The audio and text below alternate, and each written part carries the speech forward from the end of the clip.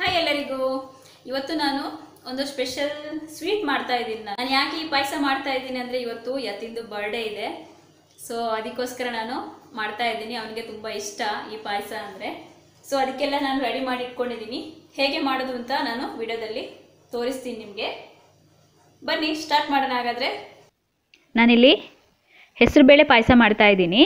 ಹೆಸರುಬೇಳೆ ಪಾಯಸಕ್ಕೆ ನಾನಿಲ್ಲಿ ಒಂದು ಕಪ್ ಹೆಸರುಬೇಳೆ ತೊಗೊಂಡಿದ್ದೀನಿ. ಆಮೇಲೆ ಒಂದು ಕಪ್ ಬೆಲ್ಲ ತೊಗೊಂಡಿದ್ದೀನಿ.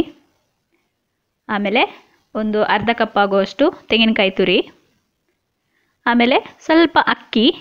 ಊಟದ ಅಕ್ಕಿನೇ ಆಗ್ಬೋದು. ಅಕ್ಕಿ ಮತ್ತು ಈ ತೆಂಗಿನಕಾಯಿ ತುರಿನ ಒಟ್ಟಿಗೆ ರುಬ್ಕೋಬೇಕು.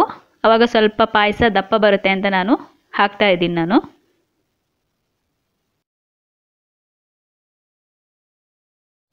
ನೀವು ದೋಸೆ ಅಕ್ಕಿನ ಕೂಡ ಹಾಕೋಬಹುದು.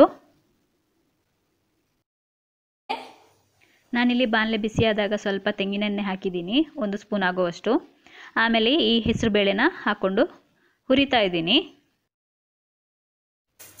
ಇದು ಸ್ವಲ್ಪ ಕಂದು ಬಣ್ಣ ಬರಬೇಕು, ಅಲ್ಲಿವರೆಗೂ ಹುರಿತಾ ಇರಬೇಕು. ಇದು ಇವಾಗ ಒಂದು ಮೂರು ನಿಮಿಷದಷ್ಟು ನಾನು ಹುರಿ, ಹುರಿದಿದ್ದೀನಿ ನಾನು ಇದನ್ನು. ಲೋ ಫ್ಲೇಮಲ್ಲೇ ಇಟ್ಟು ಹುರಿತಾ ಇರಬೇಕು.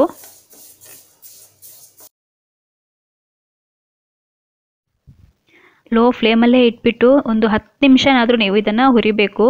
ಆವಾಗಲೇ ಅದರ ಘಮ ಪಾಯಸದಲ್ಲಿ ತುಂಬಾ ಚೆನ್ನಾಗಿರುತ್ತೆ. ಕಲರ್ ಚೇಂಜ್ ಆಗ್ತಾ ಬರ್ತಾ ಇದೆ ನೋಡಿ.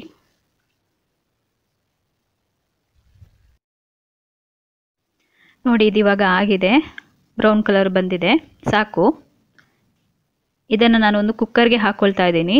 ಆಮೇಲೆ ಅದರಲ್ಲೇ ಬೇಯಿಸ್ಕೊಳ್ಳೋಣ ಅಂತ.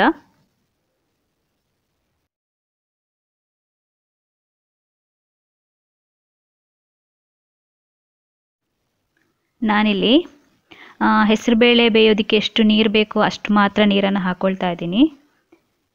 ಒಂದು ಗ್ಲಾಸ್ ನೀರು ಹಾಕಿದ್ದೀನಿ. ನಾನಿದನ್ನು ಆರು ವಿಜಲ್ ಕೂಗಿಸ್ತೀನಿ. ಚೆನ್ನಾಗೆ ಬೇಯುತ್ತೆ ಅವಾಗ. ನೆಕ್ಸ್ಟ್ ನಾನು ಈ ಬೆಲ್ಲನ ಸ್ವಲ್ಪ ಕರಗಿಸ್ತೀನಿ. ಯಾಕಂದರೆ ಅದರಲ್ಲಿ ಸ್ವಲ್ಪ ಕಲ್ಲು, ಆಮೇಲೆ ಏನಾದರೂ ಇದ್ದರೆ ಹೋಗಿಬಿಡುತ್ತೆ ಅಂತ. ಸೋಸ್ಬಿಟ್ಟು ಆಮೇಲೆ ಹಾಕ್ಕೊಂಡ್ರೆ ಆಯಿತು.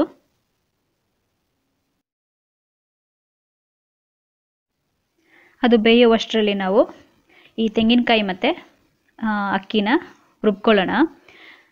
ತುಂಬ ನೈಸಾಗಿ ರುಬ್ಕೋಬೇಕು ಇದನ್ನು. ನೀರು ಸ್ವಲ್ಪ ಹಾಕಿದರೆ ಸಾಕಾಗುತ್ತೆ.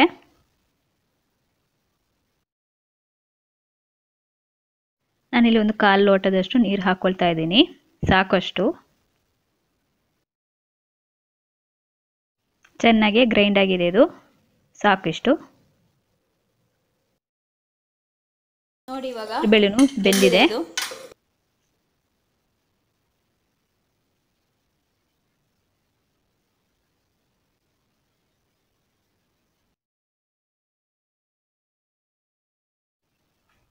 ಇವಾಗ ಈ ಹೆಸರು ಬೇಳೆಗೆ ಬೆಂದಿರೋ ಹೆಸರು ಬೇಳೆಗೆ ಈ ಬೆಲ್ಲದ ನೀರನ್ನು ಹಾಕ್ಕೊಳ್ಳೋಣ ಅದಕ್ಕೆ.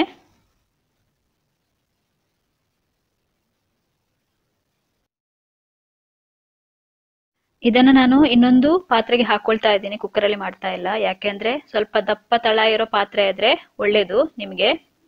ಇಲ್ಲ ತಳ ಹಿಡ್ಕೊಂಡ್ಬಿಡುತ್ತೆ. ಈ ಬೆಲ್ಲದ ನೀರು ಹಾಕಿದ್ನಲ್ಲ, ಅದನ್ನ ಈ ಹೆಸರು ಬೇಳೆಗೆ ಹಾಕಿ ಒಂದು ಮೂರು ನಿಮಿಷ ಬೆಲ್ಲದ ನೀರಲ್ಲಿ ಅದು ಕುದಿಬೇಕು. ಚೆನ್ನಾಗಿ ಅದು ಸ್ವೀಟ್ ಎಲ್ಲ ಎಳ್ಕೋಬೇಕು. ನೋಡಿ ಇವಾಗ ಚೆನ್ನಾಗಿ ಕುದೀತಾ ಇದೆ. ಇಷ್ಟು ಸಾಕು.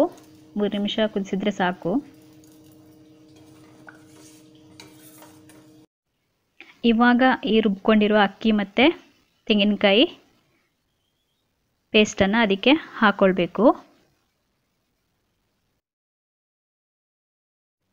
ಇದಕ್ಕೆ ಇವಾಗಲೇ ನೀವು ನೀರು ಹಾಕ್ಕೋಬೇಕು. ನೀರು, ನಾನಿಲ್ಲಿ ಎರಡು ಗ್ಲಾಸ್ ನೀರು ಹಾಕ್ಕೊಳ್ತಾ ಇದ್ದೀನಿ. ಇಲ್ಲಾಂದರೆ ಕುದಿತಾ ಕುದಿತಾ ಗಟ್ಟಿ ಆಗ್ತಾ ಹೋಗುತ್ತೆ ಅದು. ಯಾಕೆಂದರೆ ಅಕ್ಕಿ ಕೂಡ ಹಾಕಿದ್ದೀವಲ್ಲ ಸೊ ಕುದಿತಾ ಇದ್ದಂಗೆ ನಿಮಗೆ ಗಟ್ಟಿ ಆಗ್ತಾ ಹೋಗುತ್ತೆ ಪಾಯಸ. ನೀರು ಎಷ್ಟು ಬೇಕೋ ಅಷ್ಟು ಹಾಕ್ಕೊಂಡ್ರೆ ಚೆನ್ನಾಗಿರುತ್ತೆ.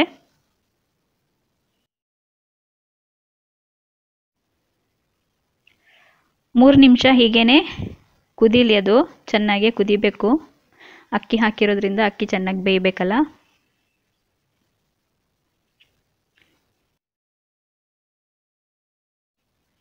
ಮೀಡಿಯಮ್ ಫ್ಲೇಮಲ್ಲೇ ಇರಲಿ ಉರಿ.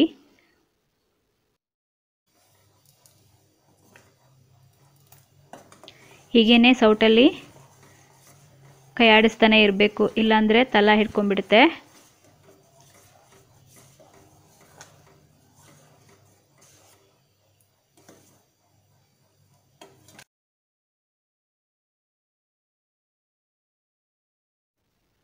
ನೋಡಿ ಇದು ಇವಾಗ ಚೆನ್ನಾಗೆ ಕುದೀತಾ ಇದೆ. ಒಂದು ಮೂರು ನಿಮಿಷ ಆದಮೇಲೆ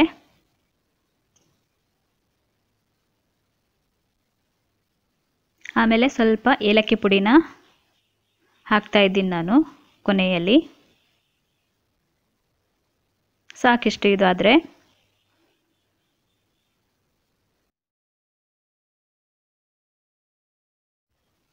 ನಾನಿಲ್ಲಿ ತುಪ್ಪದಲ್ಲಿ ಗೋಡಂಬಿನ ಹುರಿತಾ ಇದ್ದೀನಿ. ಪಾಯಸಕ್ಕೆ ಹಾಕೊಳ್ಳೋಣ ಅಂತ. ಹಾಕೊಳ್ತಾ ಇದ್ದೀನಿ ನಾನು. ಗೋಡಂಬಿ ಎಲ್ಲ ಹಾಕಿ ಚೆನ್ನಾಗಿ ಒಂದು ಮಿಕ್ಸ್ ಕೊಡಿ.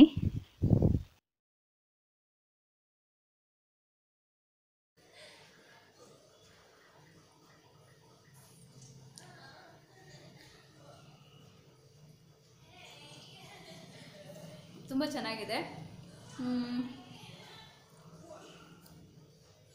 ನಮಗೆ ಈ ಹೆಸರು, ಬೇಳೆ ಬಾಯಿಗೆ ಸಿಗ್ತಾ ಇದೆ ಹಾಗೆ ಅದಕ್ಕೆ. ಈ ಥರ ಈ ಮೆಥಡಲ್ಲಿ ನೀವು ಮಾಡಿದರೆ ತುಂಬ ಚೆನ್ನಾಗಿರುತ್ತೆ. ನೋಡಿ, ಒಂದ್ಸರಿ ಟ್ರೈ ಮಾಡಿ ನೀವು ಕೂಡ. ನಮ್ಮ ಮಂಗಳೂರು ದಕ್ಷಿಣ ಕನ್ನಡದಲ್ಲಿ ಹಿಂದಿನ ಕಾಲದೆಲ್ಲ ಇದೇ ಥರ ಮಾಡ್ತಾಯಿದ್ರು ಇದೇ ಮೆಥಡಲ್ಲೇ ಮಾಡ್ತಾಯಿದ್ರು ಕಂದು ಬಣ್ಣ ಬರೋವರೆಗೂ ಫ್ರೈ ಮಾಡಿ, ಆಮೇಲೆ ಬೇಯಿಸ್ತಾ ಇದ್ರು. ತುಂಬ ಚೆನ್ನಾಗಿದೆ. ನೀವು ಕೂಡ ಒಂದ್ಸರಿ ಟ್ರೈ ಮಾಡಿ. ಇದೇ ಮೆಥಡಲ್ಲಿ ಆಮೇಲೆ ನನಗೆ ಕಮೆಂಟಲ್ಲಿ ತಿಳಿಸಿ. ಓಕೆ ಬಾಯ್ ಎಲ್ರಿಗೂ.